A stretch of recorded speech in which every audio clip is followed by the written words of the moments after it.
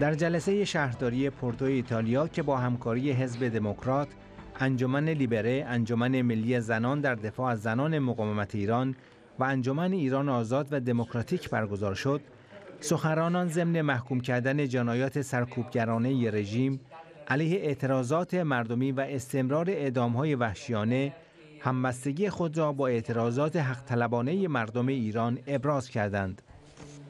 سخنرانان بر لزوم حسابرسی از رژیم رکورددار اعدام به خاطر جنایت علیه بشریت در قتل عام سی هزار زندانی سیاسی در سال 67 تاکید کردند و به حمایت از مقاومت سازمان یافته مردم ایران برای برقراری دموکراسی و آزادی فراخوان دادند.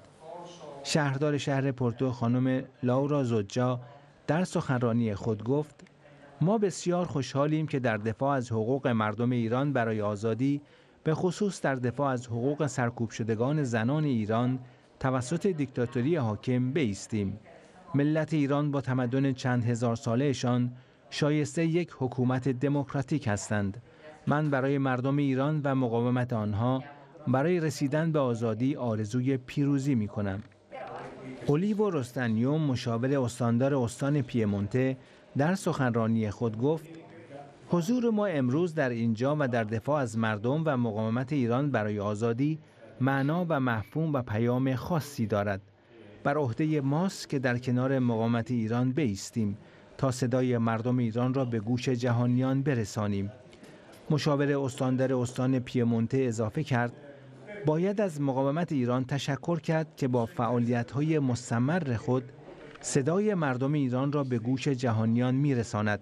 و برای تغییر در ایران و استقرار دموکراسی تلاش می کند. من خودم را در این تلاش ها سهیم می دانم. رژیم دیکتاتوری حاکم بر ایران به خاطر نقض گسترده حقوق بشر محکوم است. مردم ایران این رژیم را نمی خواهند.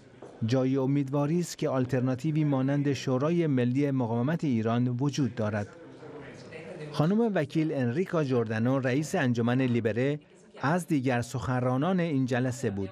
وی با اشاره به چند دهه سرکوب سیستماتیک دیکتاتوری آخوندی علیه مردم ایران گفت از طرف دیگر مقاومت ایران در این سالیان برای احقاق دموکراسی در ایران مبارزه کرد و ما نیز در کنار آنها این افتخار را داشتیم تا انجام وظیفه کنیم.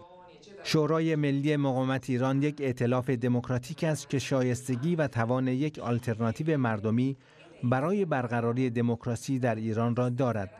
خانم مریم رجوی که با شجاعت علیه بنیادگرای اسلامی مبارزه می کند همراه با زنان مبارز و مقاوم این جنبش موفق شد سیاستمداران و شخصیت‌های برجسته را به حمایت از مبارزه مردم و مقاومت ایران برای آزادی فرا بخواند.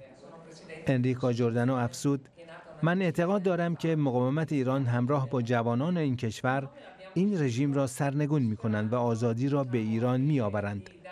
در جلسه شهرداری شهر پورتو یوسف لسانی از انجمن ایران آزاد و دموکراتیک در سخنرانی خود به چهار دهه مبارزه و مقاومت مردم ایران علیه رژیم آخوندی همراه با 120 هزار شهید از جمله اعدام سی هزار زندانی سیاسی در سال 67 پرداخت و گفت رژیم آخوندها بزرگترین حامی تروریست در دنیاست که در ماهای گذشته چندین توطئه تروریستی در اروپا و آمریکا با مدیریت دیپلمات‌هایش توسط سرویس‌های امنیتی و پلیس خنثی شده است.